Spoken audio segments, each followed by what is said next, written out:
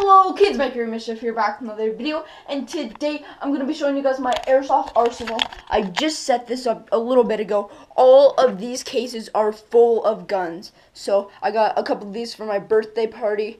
Um, that's going to be a video coming out here about probably next week or a couple weeks after that. And I'll also be doing a birthday presents video, so stay tuned for those. So I have six in the boxes, have these lined up right here have some glasses, have my AKU 47s, really sweet gun, have a silencer for this gun with the GoPro on it, and the GoPro can also go right here, have my handcuffs for my cops versus robbers, and over here we have so much camouflage. There's real military camouflage in there, have a couple bags, and there's even a ghillie suit. And we have like magazines and sheaths everything. And over here is our reloading station.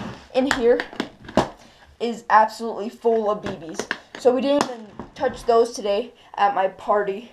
So that's what I wanted to show you guys this week. It was kind of a short video because of my party today. We had to get a lot set up, but it was super fun. So stay tuned for those videos, and we'll see you guys next week.